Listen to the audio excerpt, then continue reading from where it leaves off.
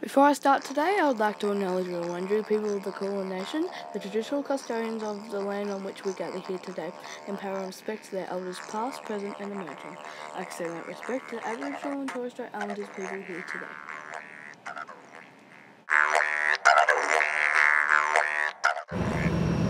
Archibald William Roach was an Aboriginal Australian singer. He was born on the 8th of January 1956 in Mooroopna, Victoria. He was a singer-songwriter, in the Gunjabun, Gunjabara and Bunjalung album, and a campaigner for the rights of the Indigenous Australians. On the 30th of July 2022, in Warrnambool, Victoria, he sadly passed away from an unknown lung disease at the age of 66.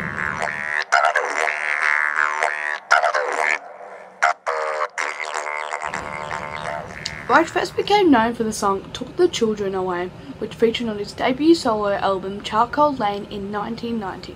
He toured around the globe headlining the opening shows for Joan Armatrading, Bob Dylan, Billy Bragg, Tracy Chapman, Suzanne Vigand and Patti Smith. His work has been recognised by numerous nominations and awards, including a Deadly Lifetime Award for contribution to the healing of the stolen generations in 2013.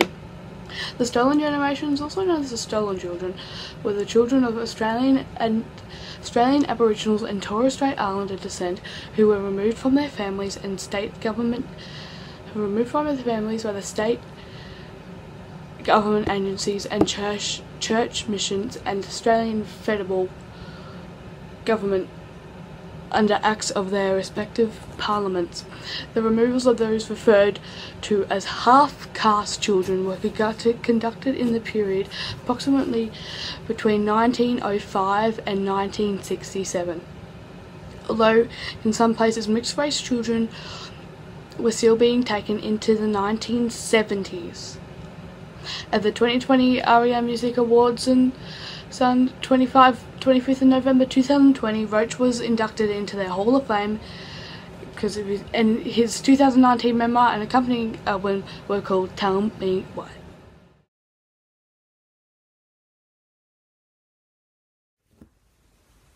Archibald William Roach was born on the 8th of January 1956 in Mooroopna, Victoria.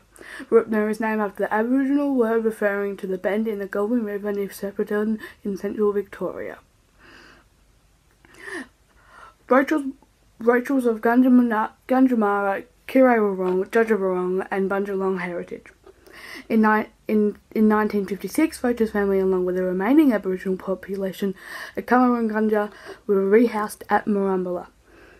The fam subsequently moved to, their, to Framlingham, where his mother had been born.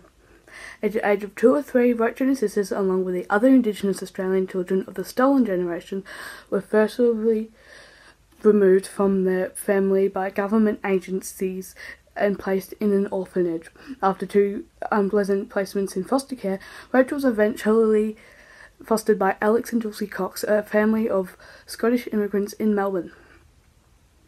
Their eldest daughter, Mary Cox, would sing church hymns and taught Roach the basics of guitar and keyboard. Roach's love of the music was further fueled by Alex's connection of Scottish music. He was a big influence on me, a good influence. I love him to the day I die. Alex. At 15, Roach was contacted by his natural sister who had just told him their mother had just died. He spent the next 14 years on the streets battling alcoholism. Alcoholism. Roach met his future wife Ruby Hunter at a Salvation Army dropping centre known as the People's Place in Adelaide when she was just 16.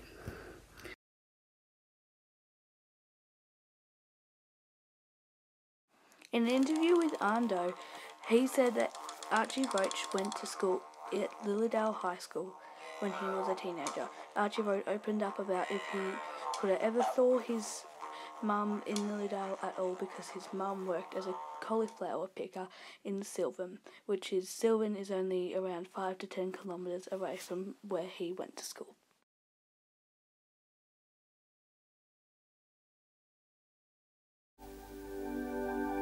This story's right, this story's true. I would not tell lies to you, like the promises they did not keep. And how they vexed us in like sheep. Said to us, come take care of him." Set us up on mission name. Told us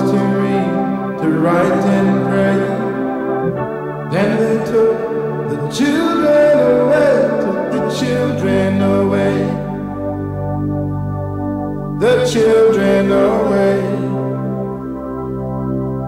Snatched from their mother's breast, take this is for.